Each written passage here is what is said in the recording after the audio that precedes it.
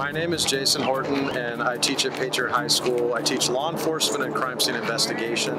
My class thrives on hands-on activity. I think it's the, the cornerstone of the CTE, career technical education uh, departments within our high schools. They're able to uh, learn in a, in a method where rather than just show them a video or here's how you do it, they actually get to do it. I actually chose this class because I actually want to pursue a career in law enforcement. Being put into class, I'm very thankful because I actually get an insight of what I might want to do in the future. So if you want to pursue law enforcement in any form, um, it's a good class to take because it runs through the basics. But there's a lot of things you learn, like uh, soft and hard skills you learn throughout the whole course that I feel are really good takeaways for anybody.